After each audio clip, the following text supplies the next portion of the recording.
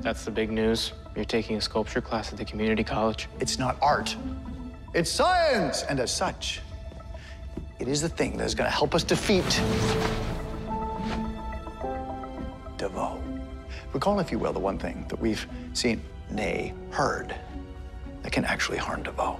Izzy Bowen's soundwave powers. Well, Izzy was killed by DeVoe, so whatever power she had is in his hands now. And now, Joe, they're in ours. Watch this. So, actually, maybe you should take a couple steps back if you value your internal organs.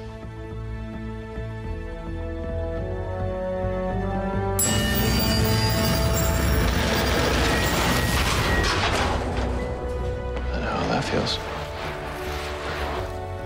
One strike incapacitates the thinker. Two strikes, no more thinker.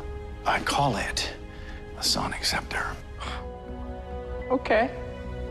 Points for alliteration. Basically, just a big tuning fork. My goodness. Well, I mean, it's not just any tuning fork. This might be the most powerful tuning fork in the multiverse. You must have laser shaved this thing down to the nanometer. Shaved it right down to the last angstrom, as a matter of fact. Child's play for me and my thinking cap. The sonic scepter mimics Izzy Bowen's sonic frequency so we can penetrate a heretofore impenetrable force field of DeVoe. And here's the best part. Because there's no tech involved. It's Kilgore proof. Yes. Nice. So now we just need to figure out where DeVoe is going to appear next. As a matter of fact, before you got here, I scripted a subroutine on the pocket dimension predictor. and It's going to give us a massive head start on DeVoe's next location. Thank you. Yesterday, I thought you said that wasn't possible. That's right, Snow. I did say that yesterday. But today is a new day. I've got a million new ideas. The cap and I will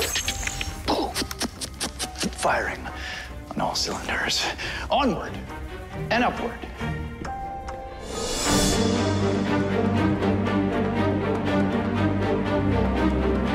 Thanks for watching. Subscribe to our channel to watch behind the scenes video and more from The Flash.